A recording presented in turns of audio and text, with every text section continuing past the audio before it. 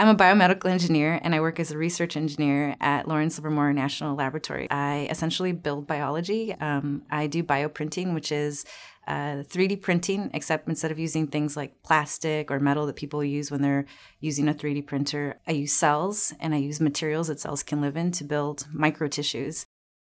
We create the brain physiology on this chip that allows us to understand how the brain works. So we grow um, neuronal tissue, um, such as neurons and astrocytes, on these devices that have electrodes on them. And so we can record how the cells talk to each other.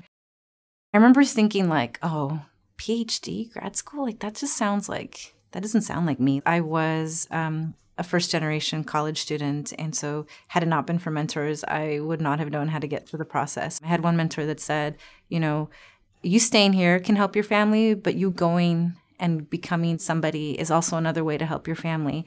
And so, in the short run, you might help your family now, but if you go off to this great school and you take advantage of all those opportunities, you will be in a better position to come and help your family.